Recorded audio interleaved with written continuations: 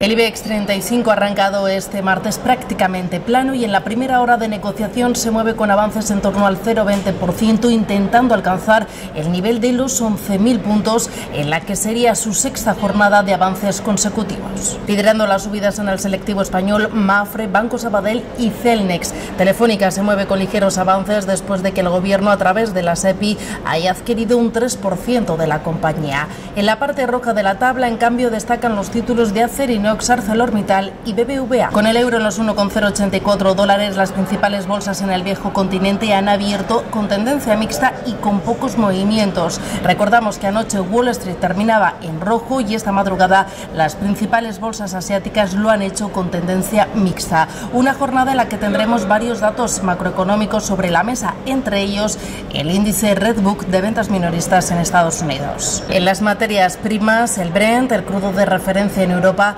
desciende hasta los 86,60 dólares y en el mercado de deuda la rentabilidad del bono español a 10 años se sitúa en el 3,2% con la prima de riesgo en los 82 puntos básicos.